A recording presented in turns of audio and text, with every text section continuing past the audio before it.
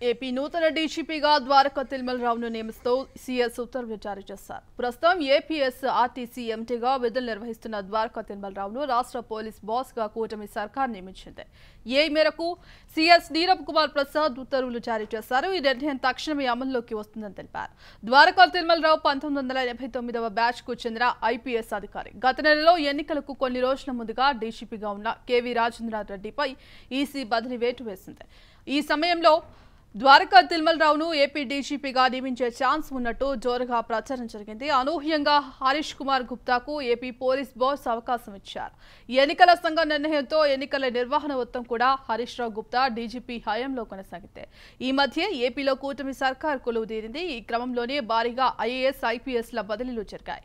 ఈ ఏడాది మేలో కొత్తగా డీజీపీగా నియమితులైన హరీష్ కుమార్ గుప్తా పంతొమ్మిది వందల తొంభై రెండవ బ్యాచ్ ఐపీఎస్ అధికారి. రాజేంద్రనాథ్ రెడ్డిని బదిలీ చేసిన తర్వాత సీనియర్లైన అంజనా సిన్హా ఎం ప్రతాప్లను కాదని హరీష్ను పోలీస్ బాస్గా ఎన్నికల సంఘం నియమించింది.